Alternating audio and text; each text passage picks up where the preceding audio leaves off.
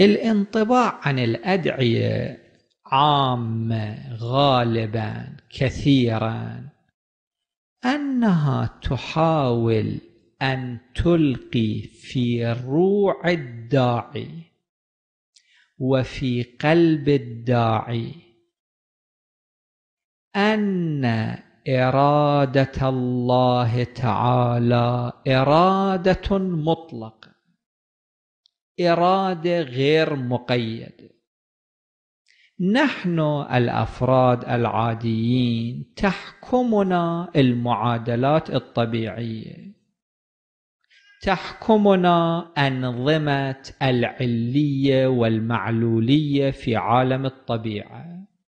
الأدعية كثير منها يريد أن يبين لنا يؤكد في وجداننا أن إرادة الله سبحانه وتعالى إرادة حرة وأن إرادته لا تتقيد بهذه العوامل الطبيعية المجعولة أبدا. هذه قضية مهمة. وأثرها النفسي في المؤمن مهم جدا. إحنا عندما في سجن الطبيعة في سجن المعادلات الطبيعية واحد عنده مشكلة. عندما يلاحظ هذه الإطارات الأطر الطبيعية يشوف أمل ماكو. وإذا فقد الفرد أمله ففي الواقع فقد كل شيء. قضية الأمل جدا قضية مهمة. نظام العلية والمعلولية يفقدنا الأمل. الطبيب يقول ماكو أمل. المجتمع يقول ماكو أمل. التجارب الخارجية تقول ماكو أمل ولكن الأدعية تقول إن هنالك املا. وهذا الأمل بتلك الإرادة الربانية التي لا يقيدها شيء ابدا. لاحظوا مثلا أكو دعاء هذا الدعاء من أدعية الصحيفة السجادية. ومذكور أيضا في مفاتيح الجنان. الإمام السجاد صلوات الله عليه يبدأ دعاءه جدا دعاء لطيف. يبدأ هذا الدعاء مخاطبا الله تعالى يا من تحل به عقد المكاره. لعل معنى عقد عقده شايفين أحيانا الخيط بعضه يلتف حول البعض الآخر. ولا يمكن حله. ولكن الله تعالى يا من تحل به عقد المكاره ويفثأ به حد الشدائد ويلتمس منه المخرج إلى روح الفرج. ذلت لقدرتك الصعاب الصعاب صعبة علينا.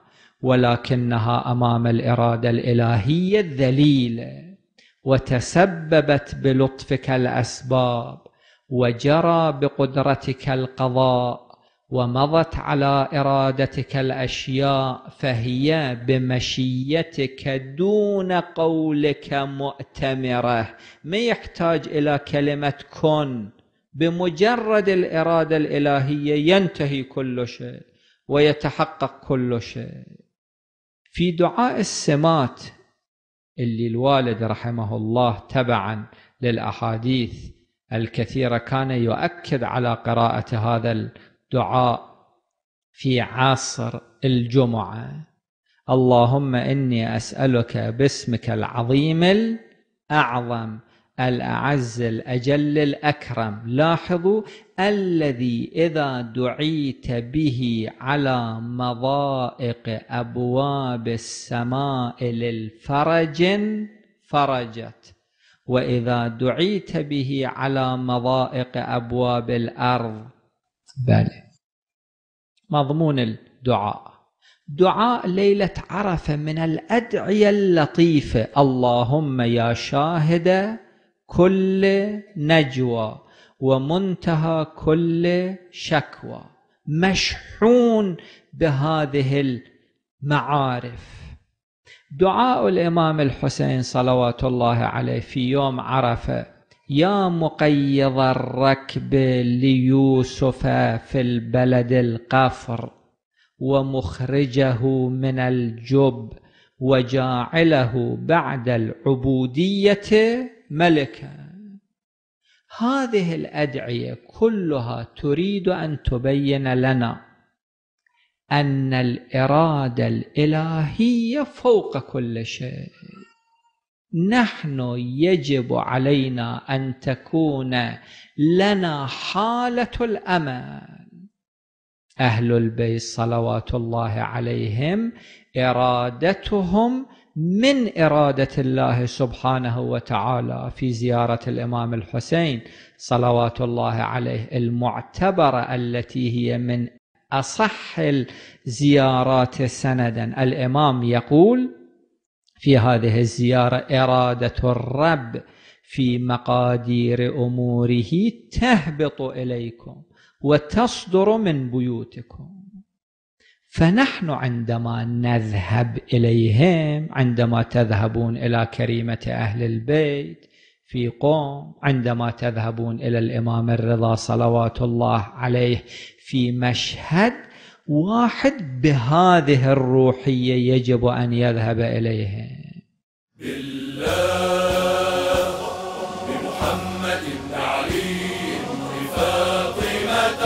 بالحسن بالحسين بالأئمة الأطهار.